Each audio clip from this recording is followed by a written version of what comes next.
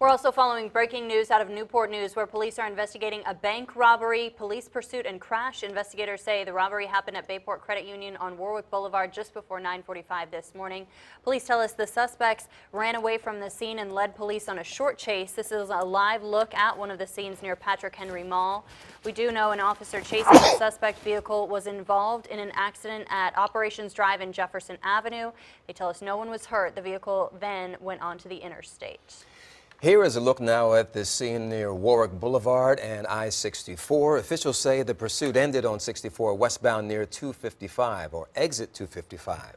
No one was hurt. Investigators say they have more than one person in custody. Police have not said whether the suspects in the robbery were armed.